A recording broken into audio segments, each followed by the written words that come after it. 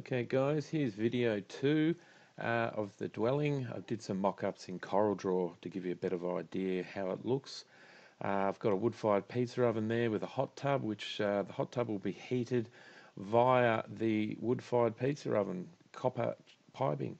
Uh, here's a street view. The whole container will be clad in rustic corrugated iron and a wood burning technique called Shou Sugi Ban.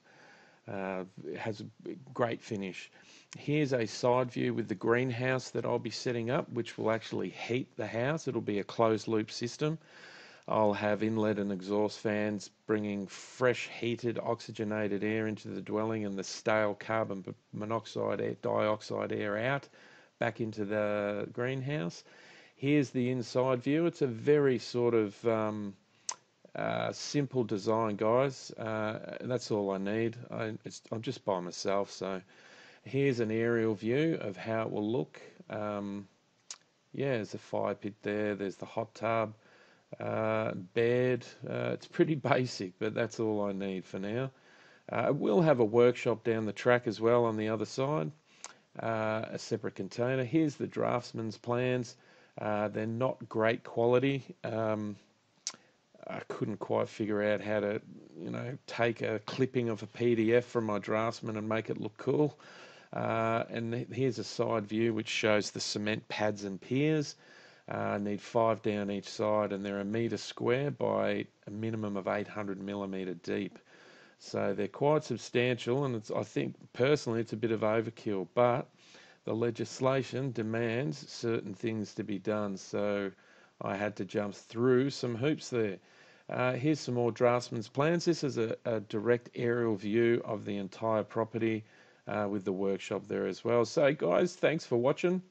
If you like this sort of stuff, please hit the subscribe button, then the grey bell on the side of that, and then uh, click on the word all up the top, and that means you'll get all of my videos instantaneously in your feed. Thanks for watching, guys. Stay tuned for more.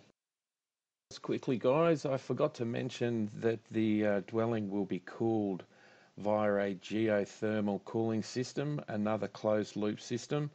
I'm going to, uh, I'm 1.87 meters above the water table here, so I'm going to dig two meters down.